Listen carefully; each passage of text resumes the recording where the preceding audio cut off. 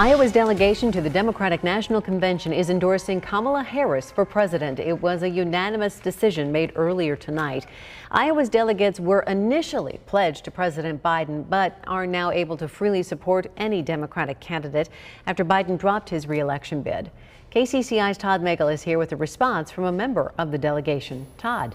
Well, Stacey, I spoke with Iowa Democratic Party Chair Rita Hart just minutes after that decision was made, and she says they've seen a swell of support for Harris in the last 24 hours, including a substantial number of people reaching out to volunteer. This is unprecedented. It's historic. It's clear where Iowans stand here, where our Iowa national delegates stand. They are clearly in um, support of Kamala Harris.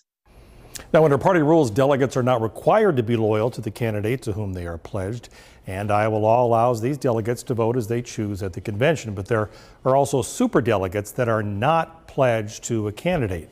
By the way, Harris has raised $81 million in the last 24 hours, and that is a new presidential donation record. Stacey. Todd, thank you. There are 3,949 pledged delegates selected through various state level processes. Candidates need to secure support from at least 1,976 delegates to secure the nomination. Right now, Harris has secured 1,688. This does not include superdelegates because they do not vote on the first ballot. The chair of the Democratic National Committee says the party will decide on a nominee by August 7th.